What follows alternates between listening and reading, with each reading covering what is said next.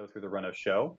Um, kicking off today, we'll be hearing from Mayor Jenny Durkan, followed by Director of the Office of Emergency Management, Curry Mayer, followed by Director of Seattle Department of Transportation, Sam Zimbabwe, um, followed by Michelle Allison, uh, King County Metro Deputy GM, followed by Peter Rogoff, Sound Transit CEO, um, Dave McCormick, Assistant Regional Administrator for Maintenance in WSDOT, and then um, we will hear from Director Helen Howell, uh, hum, uh, Human Services Department.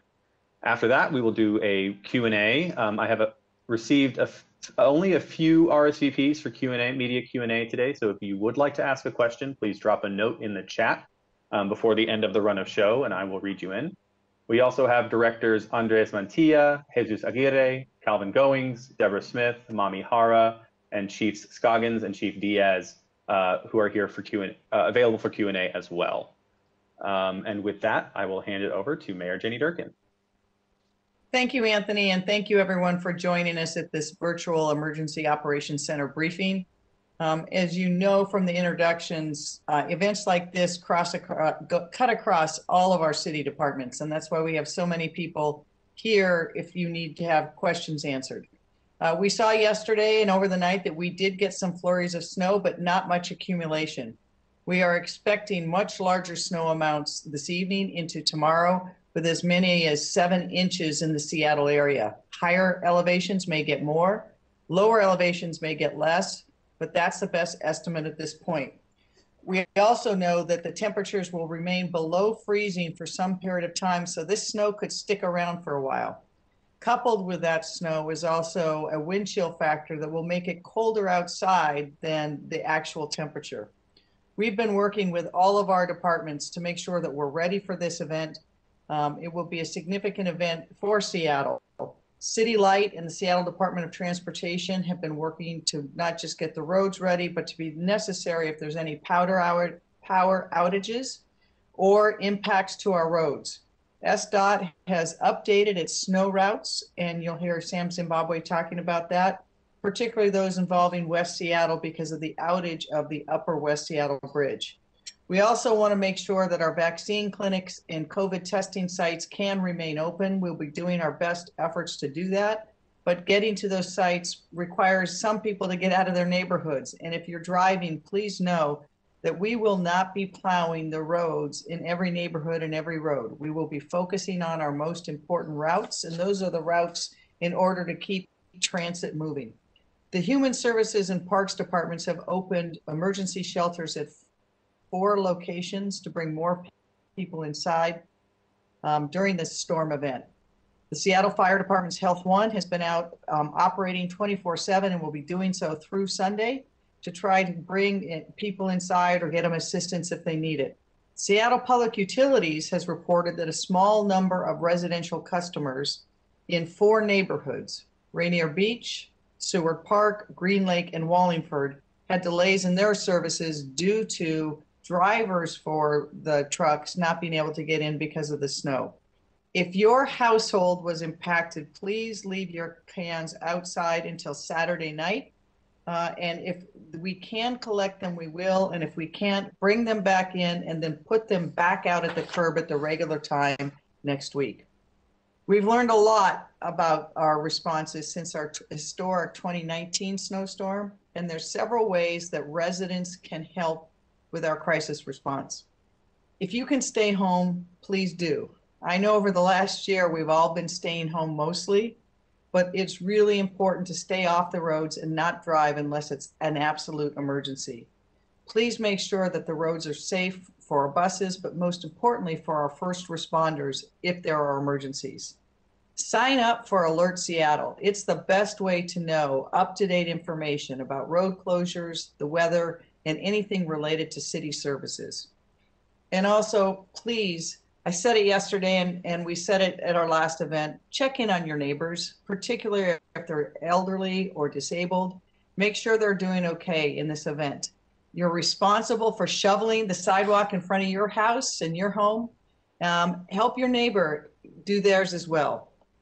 Please make sure to keep our city as safe as possible.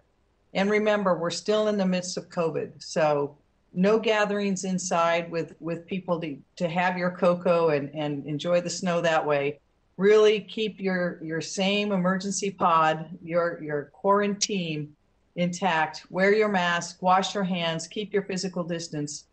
We've done so well, Seattle, and events like this are going to challenge us again. But I'm I'm confident that we can make it through.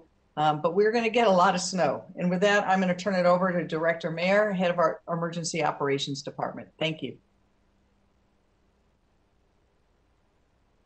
Thank you, Mayor Durkan. Um, as the mayor mentioned, we are expecting a very big storm over the weekend and the very cold temperatures.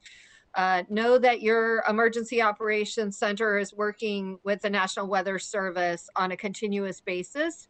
So we will always have the most up-to-date information on the snow and will be um, updating you as necessary. We're very thankful for our partnership with them. The Emergency Operations Center will be activating virtually tomorrow, starting at 8.30 in the morning. And the Emergency Operations Center is a central location point for city departments and our partner agencies throughout the region um, to respond to the storm. Our focus will be to ensure a holistic and equitable and coordinated response to managing the impacts from the snowstorm. The EOC will stay open for as long as needed. And as additional storms approach, we will continue to assess whether or not we need to stay open. So enjoy the snow this weekend um, by staying home. Um, go outside and throw some snowballs, but um, stay with your pod. If you must go out, drive slowly and carefully and make sure that you have emergency supplies in your car. So, food, water, warm clothes, boots, a blanket, a flashlight, and a phone charger. And if you have pets, it's probably a good idea to keep them inside if you can. So thank you very much. Thank you, Director Mayer. We'll now be turning it over to Director Sam Zimbabwe. Thank you, uh, Anthony. Um, SDOT began pre-treating roads overnight on Wednesday. We've been continually working the snow response for 48 straight hours. We'll continue to monitor and pre-treat along our snow routes, our critical safety routes, and access to COVID testing and vaccine sites. Right now, all of our arterial snow routes are clear, and we've repeatedly gone out, out checked conditions, made sure that we have pre-treatment out.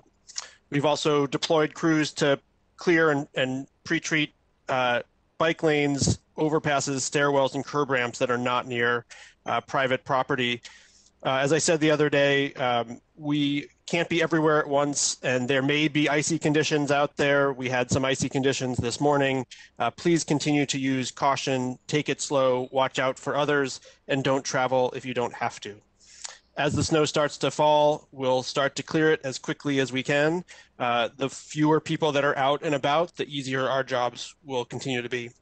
Uh, so uh, take care as as you travel if, if you need to uh, be mindful of plows and and uh, crews out with large equipment um, and stay safe everybody. Hey sam what do you have to say about those signs that say road closed because of snow? Is that just a friendly su suggestion? That is more than a, about... that is more than a friendly suggestion. Uh, if the road if we have road closed signs out please don't uh, don't go down those streets. It's there for a reason. And what about sledding in the street? We have plenty of great parks uh, with hills that are great for sledding. Please don't use our streets for sledding. Thank you, Director Zimbabwe, and uh, thank you, Mayor, for those clarifying questions. We will now turn it over to Michelle Allison. Thank you so much. Thank you for the invitation to be here today. Metro is working in close partnership with our partners here on this call, including SDOT, to make sure we're tracking and monitoring the conditions. And we are uh, hoping to experience a bit of a quiet commute this evening, but we know that in any weather event, conditions can change rapidly. So we will be taking care to uh, make sure that we are adjusting our service in accordance to the weather and its changes, which often means that we will need to chain up our buses, maybe deviate from a route path or adjust our schedule. So we really ask folks who need to use transit to check metrowinter.com to make sure that your scheduled trip, your stop, and the conditions uh, sort of meet your needs for transportation. We also, like others who have mentioned on this call, would ask that folks who don't need to take a trip to stay home, both to ensure that there's capacity and to keep other folks who do need to make a transit trip that it's available to them. Remember to dress warmly, allow for extra time in your plans for your trip, and uh, please do remember we are still traveling in COVID times and would ask that everyone wear a mask while on our transit system. That's a required part of your transit experience. So please, thank you for uh, being sort of aware and appreciative of our operators as they're working in both a snow event and in COVID conditions. So appreciate everyone for just taking a little extra caution and do please check metrowinter.com to plan accordingly. Stay safe and stay warm. Thank you, uh, Michelle. And our next speaker will be Peter Rogoff.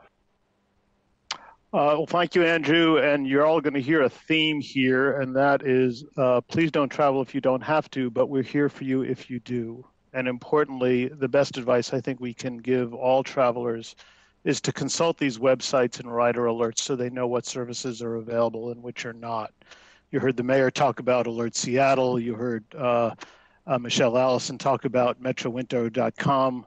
I really want to direct Sound Transit users to soundtransit.org because you are, if you are not already receiving our rider alerts, they go right to your phone. They are provided in real time and give you the best picture of what our operations are. Uh, light rail and for that matter, Sounder commuter rail beginning on Monday may be your best way to get around since we are not uh, utilizing the roadways. Um, and we do run trains all night in the case of light rail to make sure that the tracks are clear and the, the, the power uh, traction uh, options uh, from the overhead wires are clear. Uh, we performed very well two years ago, as we have in other snow events. Uh, what we do ask our light rail riders, especially if they are using stations that are exposed to the elements, is to recognize that we are running less frequently than we do uh, because of COVID. So light rail will be every 12 minutes during peak hours, every 15 minutes for the rest of the day and on weekends and except uh, there will at the very early hours before 6 a.m. or a- after 10:30, we will run every half hour. That means you could be on an exposed platform waiting for a train for a while. So please bundle up, stay warm. We are going to do our best to clear the platforms of snow, but uh, with a snow event of this size, that may take us some time, but the trains will run. So we just need to ask you to be particularly careful. Sounder commuter rail does not run on weekends, but we do expect it to be on schedule on Monday morning here again, less frequently than pre-COVID. So please go to soundtransit.org, check the timetable, get the rider alerts, and you'll know what services are available.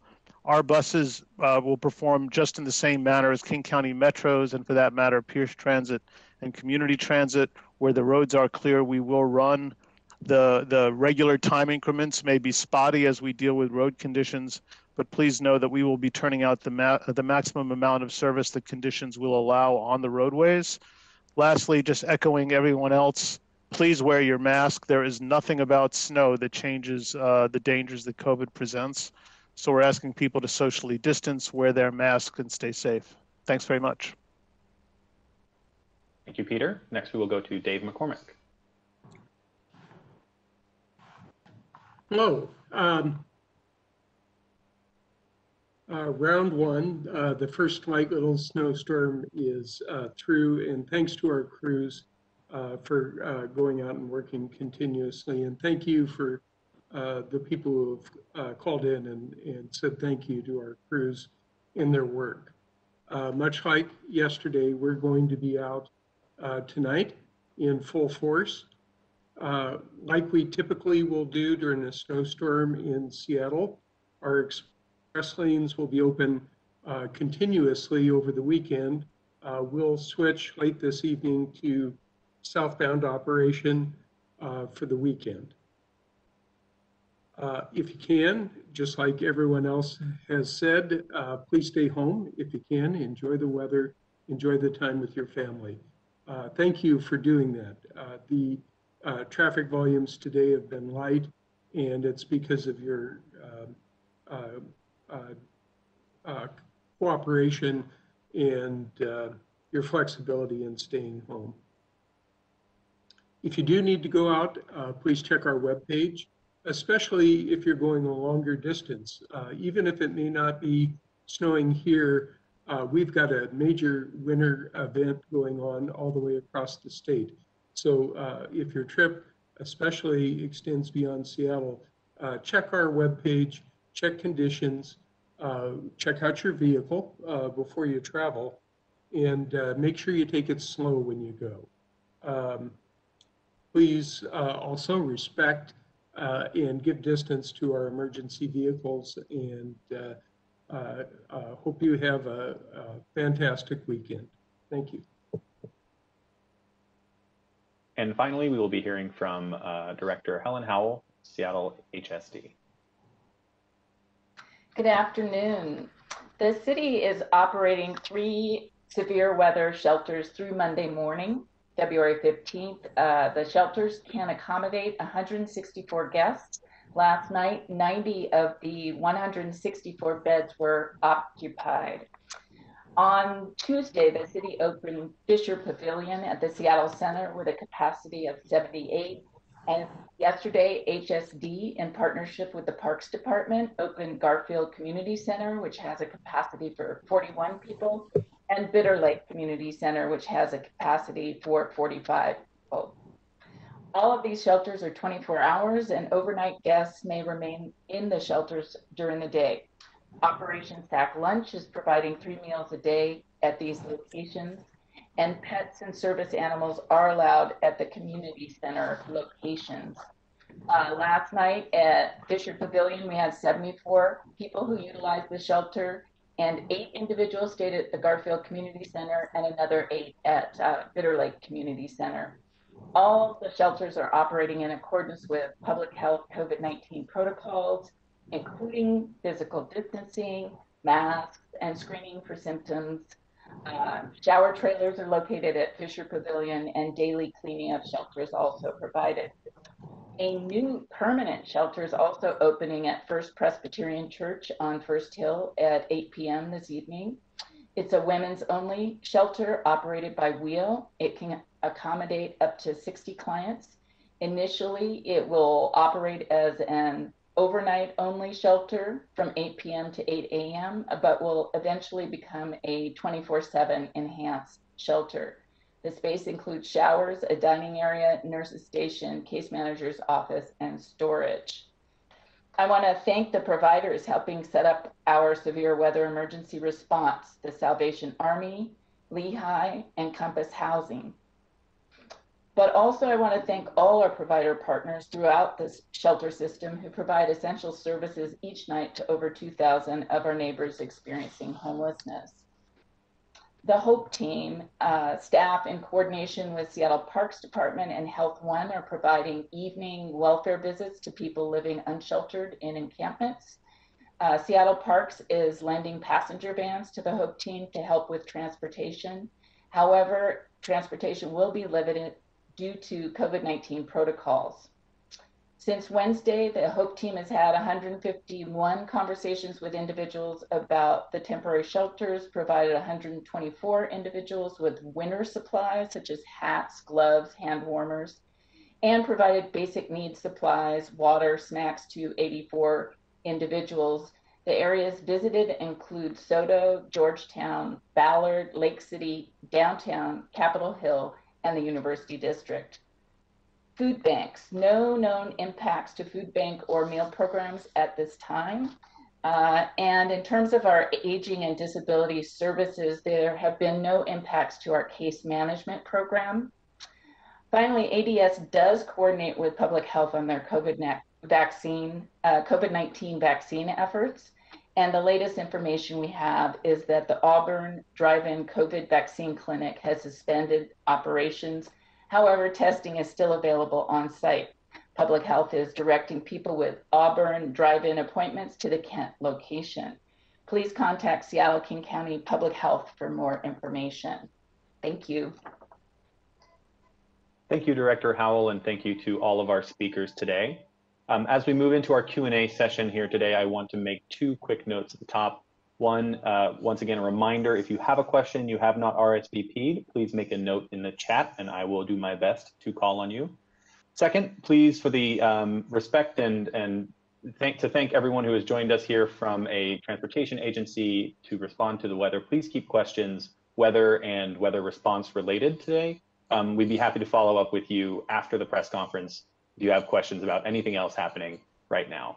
Um, and with that, our first question will come from Tracy Record, West Seattle Blog. Tracy, the floor is yours.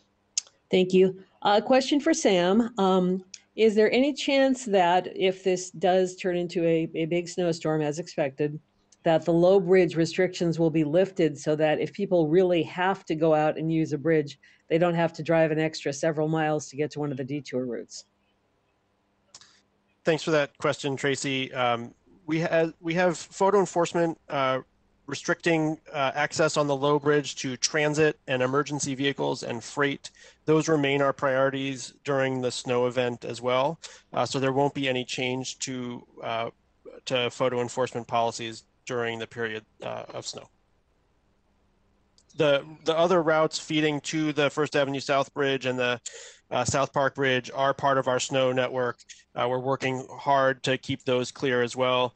Um, and so they, they shouldn't be a problem uh, for people to access those if they need to. But again, we want people to take care and to only leave if they absolutely have to. Thank you, Sam. Our next question will come from Essex Porter, KIRO 7. Essex, the floor is yours. Uh, yes, uh, could I get uh, Mr. Zimbabwe to uh, expand on the city at large? Just how much, in terms of resources, are you throwing at the storm?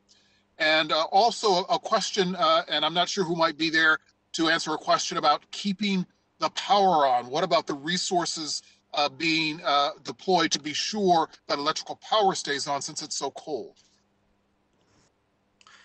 Sure, I'll take the first part. Um, the you know we've got a full deployment of our equipment uh, ready to go. Uh, we've been on on 12 hour shifts for our workforce since uh, yesterday morning and have been working overnight uh, and, and, during the day before that to start pre-treatment. Um, we also have tremendous partnership within the city to make sure that our equipment stays up and running. The vehicle shop uh, run by the city uh, is tireless, and if any any pieces of equipment go down, of, of working to get them back up. Uh, so we are we are as prepared as we can be for this, uh, and we'll have all equipment ready to go. And hi, this is Debra Smith, and I'm the CEO General Manager of Seattle City Light. And uh, I can say the same for us. We have crews on standby, ready to roll. Uh, we'll assess as the day wears on to determine whether we just keep folks on or whether we call back. But we've gone to incident command structure. We're having regular tactics calls, and we're ready. Thank you very much. And thank you for being here, Debra Smith. Thanks for making an appearance.